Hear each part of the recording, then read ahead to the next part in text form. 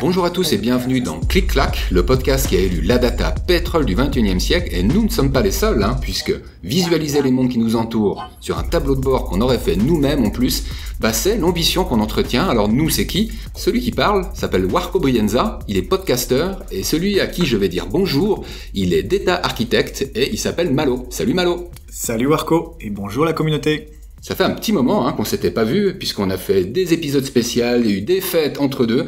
Eh ben, on reprend quand même, et on reprend joyeusement, en vous expliquant bah, qu'est-ce qu'on peut faire avec la data. Et aujourd'hui, on va prendre une vue un peu plus méta, parce que on aimerait vous parler de quadrants que vous connaissez ou non. Hein. Typiquement, le Magic Quadrant de Gartner, c'est un des deux exemples qu'on va citer aujourd'hui et qui est utile en fait à pas mal de monde, hein, des décideurs qui doivent savoir comment ils vont investir leur argent en termes de solutions innovantes.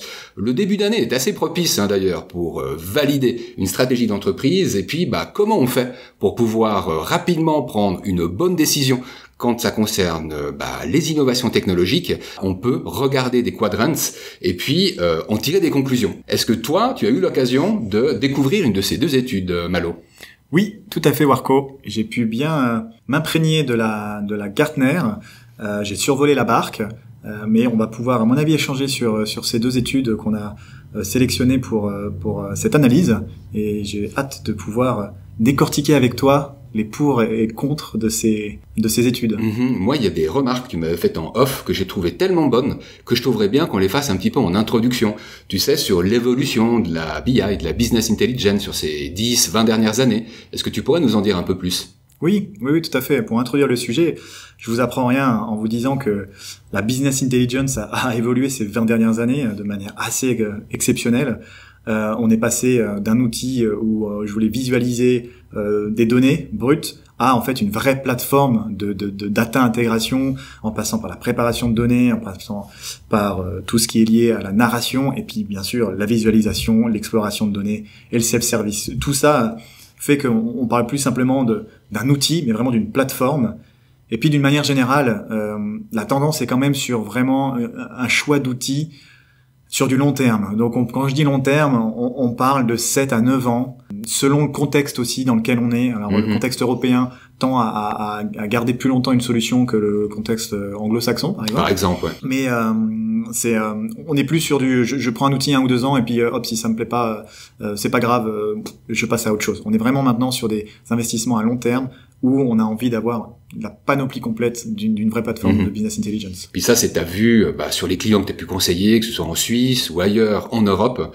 Euh, je m'imagine moi aussi volontiers hein, que ça puisse changer, on va dire, d'une région, d'un continent à l'autre. Puis peut-être que ça change également selon la taille de l'entreprise. Il y a peut-être une maturité plus élevée de grands groupes qui ont une complexité qui mérite un outil comme celui-là. Bien sûr, effectivement. Là, on, est dans, une moyenne, mais évidemment, si on compare entre la start-up ou la grande entreprise de plus de 500 personnes, oui, le, choix stratégique sera pas le même. Mhm.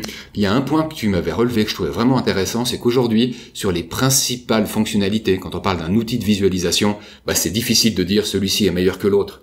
Effectivement, là, on, est passé depuis ces deux dernières années vraiment à ne plus comparer que la visualisation de est-ce que euh, j'ai un bar chart, euh, un pie chart euh, ou un KPI mhm. sur mon outil de visualisation. C'est du standard. C'est mhm. maintenant, c'est intégré dans tous les outils qu'il peut y avoir, en tout cas dans les principaux leaders du marché. Ça, c'est déjà acquis. Mhm. On est maintenant sur un deuxième type de, de différenciation où on va axer plus sur la partie de, de l'intégration de la plateforme BI au sein de notre écosystème euh, SI, mhm. système d'information. Et puis après, on a aussi la gestion des catalogues de données qui va rentrer en compte, et évidemment les nouvelles technologies. Donc quand je parle de nouvelles technologies embarquées, on est dans le NLP, pour le Natural Language Process, euh, le Machine Learning, et puis euh, bien sûr la narration instantanée, que ce soit en chatbot ou en, storytelling. Mhm. Peut-être prendre trois exemples hein, qu'on a déjà cités hein, dans les émissions précédentes. Alors ClickSense c'est sans aucun doute un des leaders ou l'éditeur Click, euh, en sachant que Microsoft avec Power BI, avec quelques autres outils, hein, ne serait-ce que Microsoft Excel euh, est également considéré comme un leader. Puis Tableau, voilà, ils se sont fait récemment racheter par Salesforce. On ne sait pas forcément vers quoi ils vont aboutir, hein, parce qu'ils sont en train de s'intégrer euh, Mhm. au groupe Salesforce. Mais ça, c'est des exemples d'outils de visualisation et de BI qu'on peut considérer comme leader. Exactement. Excellent. Si tu es d'accord, là j'ai adoré que tu nous parles euh, à un niveau méta, un niveau général, mais par contre, on voudrait rentrer dans le détail aussi de qu'est-ce que toi t'as épluché du côté de, des Magic Quadrant de Gartner. Puis moi par contre, je me suis euh, je me suis farci la barque, une étude que je connaissais pas avant, hein, elle s'appelle précisément The BI and Analytics Survey by Bark. Et puis je trouvais cool, euh, peut-être qu'on survole un peu, chacun de notre côté, l'étude qu'on a regardée. Qu'est-ce que t'en penses? Oui, oui, super idée. euh, effectivement, Euh, la plus connue, en tout cas l'une des plus connues, c'est effectivement Gartner. Alors il y a aussi euh, Forrester, mais euh, Gartner reste euh, celle qui est la plus utilisée, La la, plus diffusée et Mmh. la plus citée. Alors il y a plusieurs raisons, dont la première, c'est que c'était une des premières études sérieuses sur le marché. Bark, pour pour pour, pour, pour, comparer, euh, est arrivé bien après. Donc donc pour ceux, à mon avis, qui ont déjà euh, utilisé les Magic Quadrant de Gartner, euh, moi, les points positifs que je trouve euh, sur ces sur ce cadran, c'est d'abord un- un- une comparaison rapide et assez compréhensible pour quelqu'un qui n'est même pas dans le milieu. Il Mhm. arrive assez rapidement avec le cadran et puis après avec les forces et faiblesses de chacun des des, des outils, euh, de se faire une bonne idée déjà Mhm. du marché en général des plateformes de business intelligence. Tu vois, moi je pourrais pas dire rapide, par exemple pour euh, l'étude que j'ai lue de la barque. D'ailleurs, je sais que tu l'as un petit peu regardé en diagonale, toi aussi. Mhm. Alors, compréhensible, esthétique, donc tu comprends assez vite le point, mais euh, de dire que tu as une lecture rapide, ce serait trop ambitieux à mon avis. Le système d'évaluation aussi, je l'ai trouvé relativement simple.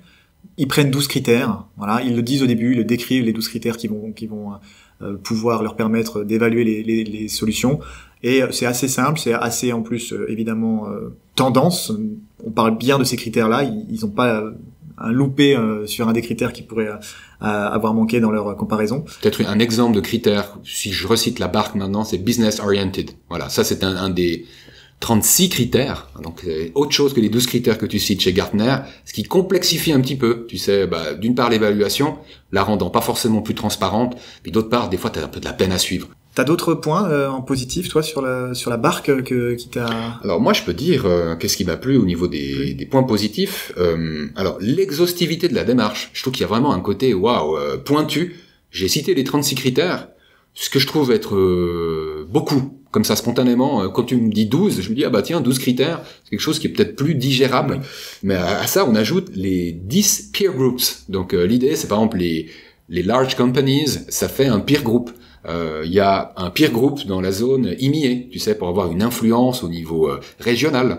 Hmm. Je pense que ça part d'une bonne idée. euh, et moi, j'aime bien cette exhaustivité, mais par contre, tu le retrouves en point négatif aussi, c'est qu'à un moment, quand tu es à la 82e page de cette étude, tu commences à avoir les yeux qui se croisent un peu, hein, parce qu'ils mixent les peer groups, ils mixent euh, les résultats.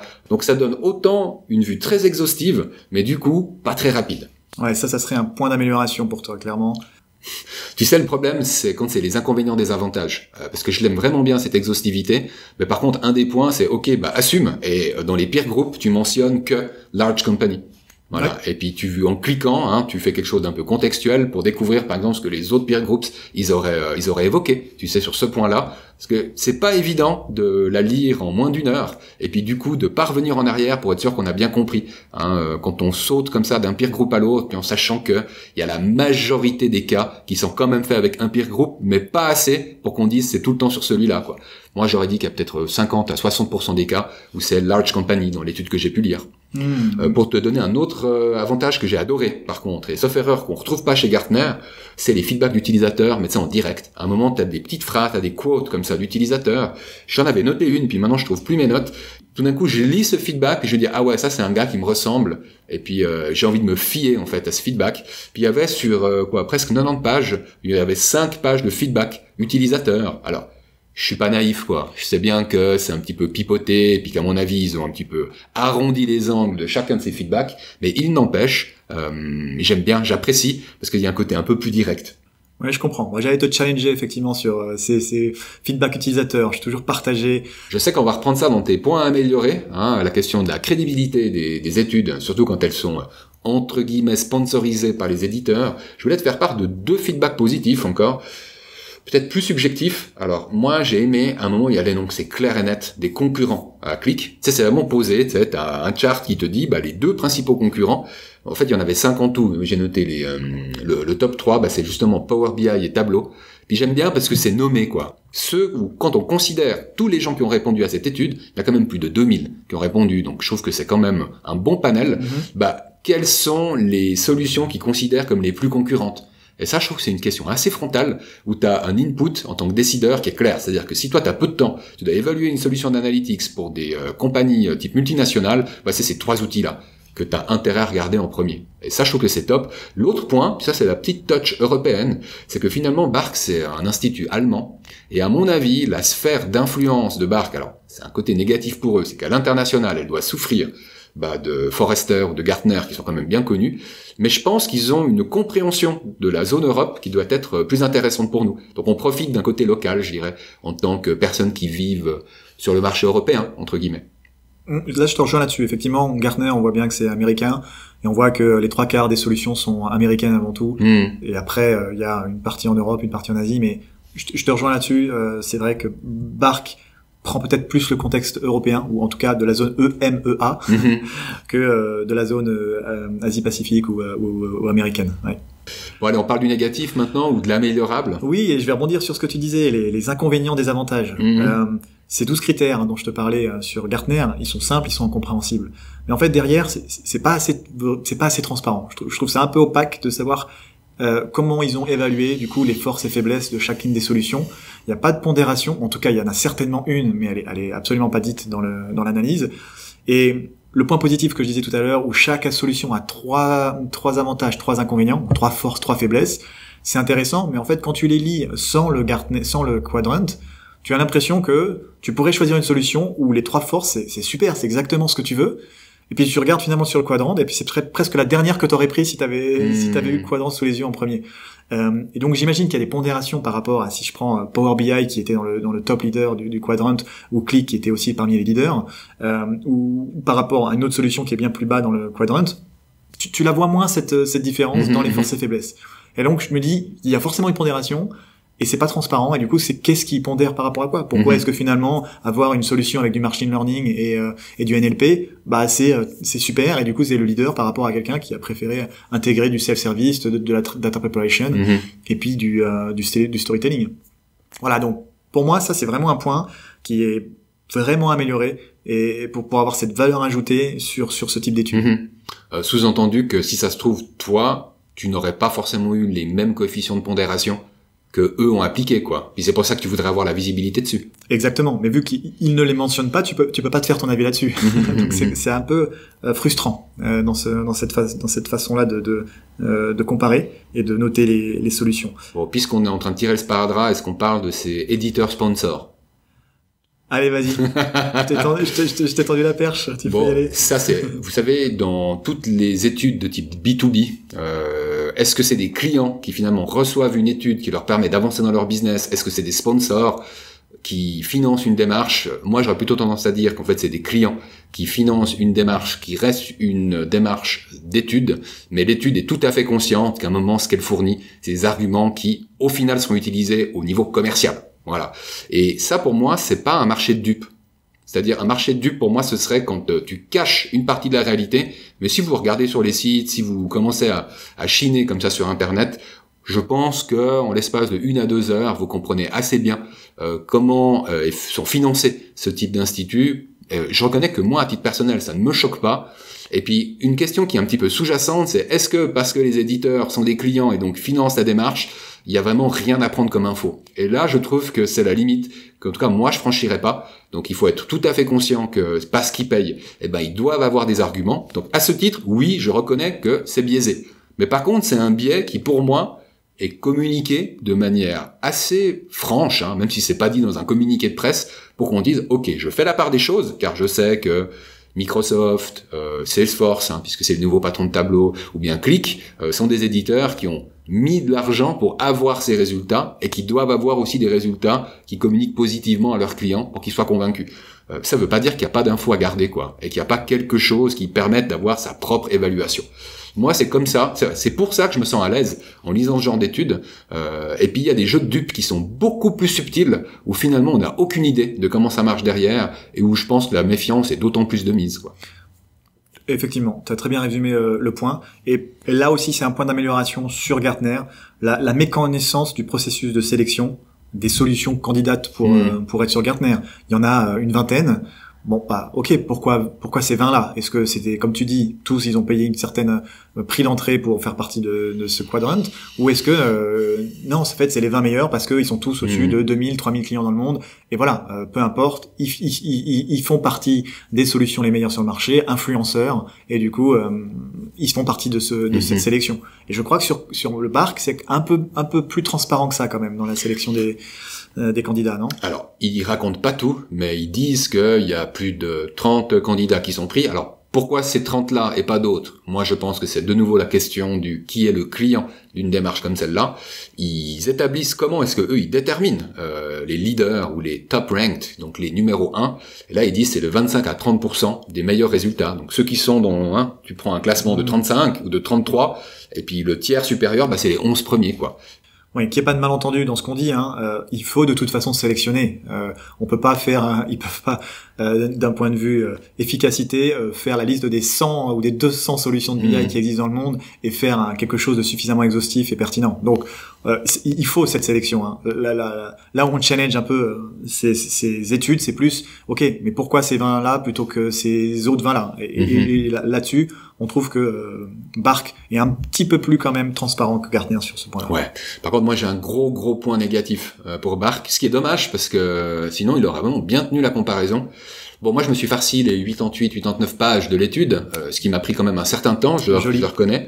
Et puis, en fait, c'était une étude qui faisait un focus sur ClickSense, hein, puisque nous-mêmes, bah, c'est un outil qu'on connaît mieux. Donc, on a les quadrants qui sont les mêmes pour tout le monde, mais par contre, on a des conclusions qui sont orientées, c'est pour qu'on ait en fait un angle, un angle d'argumentation pour euh, pour ClickSense, en comparaison avec ClickView d'ailleurs. Et le truc qui pour moi n'est absolument pas clair, c'est qu'on a en fait la moitié de cette étude qui explique pourquoi est-ce que ClickSense est un bon outil pour les organisations larges type multinationales, il y a des tas de raisons valables hein, pour la data gouvernance, pour le côté self-service, enfin. Découvrez l'étude qu'on va d'ailleurs mettre dans les notes de l'émission, qui seront disponibles sur la page du podcast ClickClack, hein, sur le site audiola.ch. On va également euh, faire un reflet de ce comparatif et mettre à disposition les études à travers les moyens sociaux de Calypse, hein, euh, donc euh, handle Calypse SA, euh, que ce soit sur Twitter, sur LinkedIn. Bon, sur le channel YouTube, on va rien mettre cette fois, hein, parce que on est plus vocal que euh, démo aujourd'hui. Mais effectivement, quelque chose que j'ai pas compris, où on met en avant ClickSense, euh, et puis il est toujours en haut du classement comme leader, ClickView qui est toujours en décrochage, mais quelques positions plus bas, entre deux et quatre positions plus bas, et sur la notion la plus importante de ce type d'étude, qui est la recommandation d'achat, tout d'un coup, il y a ClickView qui repasse devant ClickSense. Et puis je me demandais pourquoi le, dernier quadrant sur la recommandation d'achat pour le peer group euh, large companies, hein, euh, il n'était pas cité à la fin. Je trouvais ça bizarre. Quelle n'a pas été ma surprise de le retrouver dans la section ClickView quoi. Alors là, je comprends pas comment plus de 2000 participants peut dire globalement ClickSense c'est parmi les trois meilleures solutions pour les multinationales et au moment de la recommandation d'achat les mêmes personnes les mêmes personnes en fait vont repêcher l'outil qui était systématiquement en dessous quoi. Et là il y a une forme d'incohérence où moi je peux dire qu'en tant que collaborateur euh, Click j'aurais pris mon téléphone pour mieux comprendre. Voilà, j'aimais bien embêter euh, les instituts là quand c'était pas clair pour moi. Et là, je trouve qu'il y a un truc vraiment pas clair. Quoi. Mais c'est un avis personnel. C'est un bon point. En tout cas, euh, point que, qui, n'est pas du tout euh, polémique sur Gartner, puisque Gartner a pris la décision de ne comparer que ClickSense, ce qui est en soi une décision cohérente puisque c'est le dernier outil euh, qui, est, qui a été sorti par l'entreprise Click et celle où il y a le plus d'investissement. Donc, je dirais c'est cohérent pour de hmm. comparer les meilleurs outils des meilleurs éditeurs à un instant T. Écoute, moi j'ai une solution hein, pour ceux qui seraient euh, pas convaincus bah, ni par une étude ni par l'autre parce que c'est des tout gros puis finalement ils ont des clients et puis que finalement le capitalisme c'est mal, euh, voyez ça avec un petit peu d'humour s'il vous plaît, eh bien on vous a déniché un article qu'on va vous poster hein, dans la section inspiration et qui vous donne bah, six alternatives hein, justement à ces quadrantes, hein, que ce soit ceux de, de Gartner ou de Forrester ou d'autres, et puis qui sont en fait des peer-reviewed alternatives. Donc c'est des pairs qui donnent leur avis, qui sont rassemblés comme ça, et puis où on a, vous vous rappelez, hein, j'ai cité tout à l'heure que j'aimais bien les avis d'utilisateurs, bah là vous avez quasiment que ça, et vous avez des agrégats d'avis. Donc euh, c'est un article qui est tout récent, qui date de fin 2020. Euh, j'ai cliqué pour voir si les alternatives étaient toujours existantes. Elles le sont bel et bien. Donc euh, je vous invite à voir l'une de ces six alternatives. Ce sera également sur les notes d'émission. Super. Merci Marco pour cet article complémentaire qui rend qui rend vraiment le tout assez exhaustif, je pense. Ça fait plaisir, quoi. Et j'ai même des mots de la fin. Un sacré artiste, quoi. C'est quelqu'un que je connais mal au niveau artistique, mais le hasard a voulu. Donc il s'appelle Jimi Hendrix, donc il est quand même assez connu. Et il a fait une quote de fou. Est-ce que tu voudrais l'entendre? Avec plaisir. Je suis assez curieux d'entendre cette quote de Jimi Hendrix. Et j'ouvre les guillemets. Knowledge speaks, but wisdom listens. Donc euh, la connaissance parle, mais la sagesse écoute. Je me suis demandé si ça t'inspirait quelque chose. Ça vaut presque le coup d'aller voir la biographie de Jimi Hendrix, parce que celle-là, elle est belle. Vous savez quoi? On vous laisse choisir, euh, après une phrase comme celle-là, si vous direz que vous préférez parler ou si vous préférez écouter. Et moi, je répondrai pas tout de suite. moi non plus, je, vous laisse le mot de la fin. Excellent. Bah, tu sais quoi, je vais le prendre pour remercier le public qui nous a écoutés, euh, pour lui rappeler que s'il a envie d'écouter les épisodes précédents, eh bien, il y a cinq épisodes euh, qui aussi hein, entre vente, logistique. On a des tutoriels également qui sont euh, publiés sur YouTube, le channel de Calypse. Et puis on a des interviews de personnes qui ont posé leur propre dashboard et qui vous le montrent quoi. Donc n'hésitez pas à aller voir ces précédentes émissions. Pour ceux qui voudraient interagir avec nous, bah c'est possible. Vous savez qu'on adore avoir vos commentaires, qu'ils soient positifs ou négatifs. Nous, tant que ça nous permet de nous améliorer, on est super content. Et vous pouvez les faire alors sur Twitter euh, à travers le handle de ClickClack. Et ça s'écrit comme ça se prononce, ou autrement le handle de Calypse, euh, donc Calypse également comme ça se prononce, mais vous mettez un Y hein, au moment du I. Et puis, bah, c'est la même, euh, c'est le même handle que vous utilisez pour LinkedIn, donc Calypse, et puis pour YouTube. Voilà, donc c'est pas Calypse SA, comme je l'ai dit au début, mais c'est bien Calypse. Et puis, nous, on va se retrouver dans un petit mois ou un bon mois pour presque poursuivre euh, dans cette logique de, bah, quand moi je suis un décideur, quelle est la solution qui peut accompagner mes, mes bonnes décisions, mes bonnes actions ce qu'on va faire, c'est qu'on va comparer deux outils. Alors il y en a un que vous connaissez parce qu'on l'aime bien, puis on n'arrête pas d'en parler, puis l'autre, je crois qu'on va faire la surprise, puis qu'on va rien dire, quoi. Ça me paraît pas mal. On a déjà donné un, indice. On va, on va laisser le, suspense pour euh, le deuxième outil. Excellent. Donc on vous dit à la prochaine, et d'ici là, d'excellentes inspirations. Salut à tous, salut Malo. Salut tout le monde, salut Warco. Podcast. Podcast.